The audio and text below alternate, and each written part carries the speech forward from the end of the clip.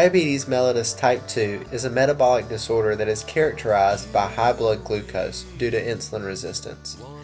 In a normal individual, the pancreas monitors and regulates blood glucose using hormones such as insulin to tell the body to take up glucose from the bloodstream into the cells.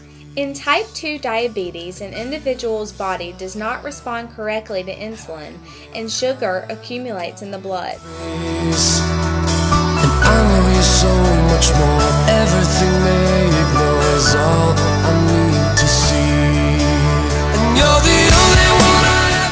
Studies out today that draw the same disturbing conclusion. Americans are not winning their battle against obesity.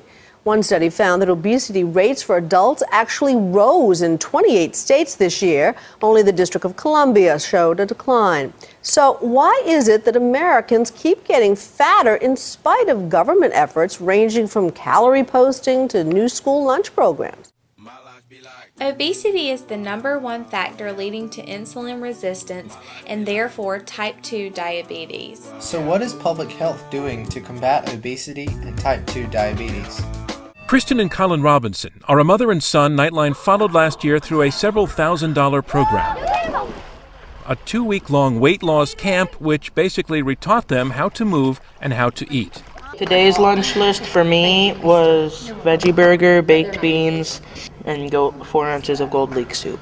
Americans spend a lot of money trying to lose weight and a lot of time talking about it. We're spending $150 billion a year treating obesity related uh, illnesses, so we know this is a problem and there's a lot at stake.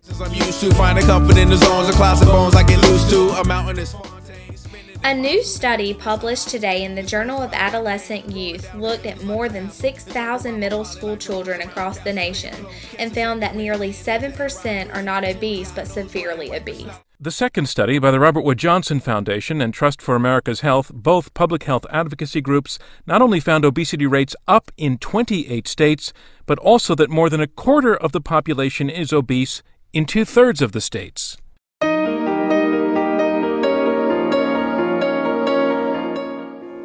Nutritional education is critical. We have to teach Americans what to eat and how to eat it. The next big issue concerning diet is the comparatively high cost associated with eating healthy. We have to find a way to bring the cost of eating nutritional foods down to an affordable level. Physical education is just as crucial.